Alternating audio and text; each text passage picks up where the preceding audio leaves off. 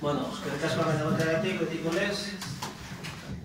Eta zuen ikamenak erantzuten hasi baino lehen, gauza hori aurreratu nahi dizkizue. Lehena e, gure batzar nagusia urriaren lauan izango dara Euskadinan.